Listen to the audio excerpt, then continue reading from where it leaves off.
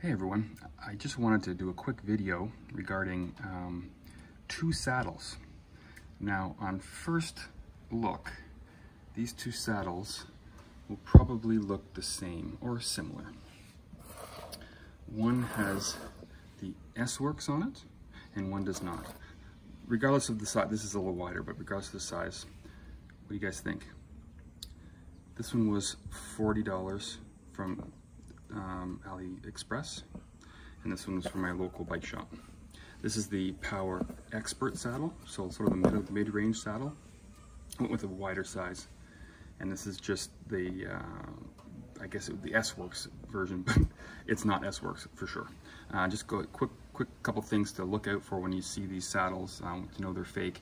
Um, first off, I've only been riding this saddle for maybe six months, not even that, and it's the, I don't know if you can see that, but the, the covering is actually like coming off the, uh, the saddle on the nose. Also, um, a good way to know is all the S-Works saddles, the proper ones, are carbon, full carbon, and uh, this is um, probably steel and plastic. Um, why I got a new one, like it's, it's, you know, it's ripping, but it's not you know, terrible. Why I got a new one is because it's actually like really flexy, like the edge of it is very, very flexy. Where this one, even though it's just the expert version, it's really stiff.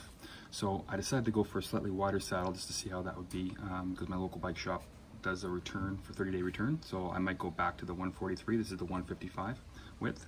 Um, but I just want to let you guys know um, that's a good way. Oh, and also if you look at the bottom, you'll see that um, these ones have the SWAT uh, mounts for the SWATs, um, you know, storage and stuff, and the fake one does not. Um, okay, so that's it for the video, guys. Thanks for watching.